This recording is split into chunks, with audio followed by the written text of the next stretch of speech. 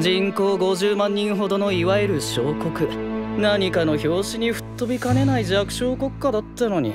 親父が倒れて俺が国の舵取り。とかもああ早く国ってとんずらして。もう少しシャキッとしなさい。無理！絶対無理です！またそんなこと言って冗談でも口にすることじゃないわよ。ウェインはあ。何何なんすかその優等生気取りな態度は。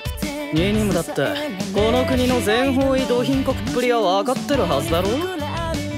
帝国の王女様を迎えるんだから相応の服装が必要でしょ。ただ間違えただけよ。そう思わせるのが俺の戦争だ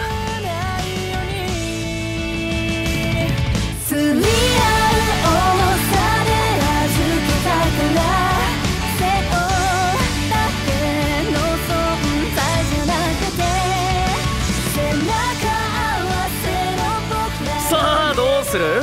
のんびり俺の相手をしてる場合か？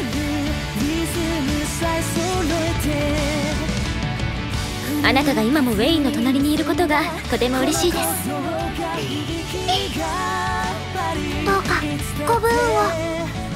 悪いがちょっと頼みがある。なんてこと。ウェイン王子質問があるのですが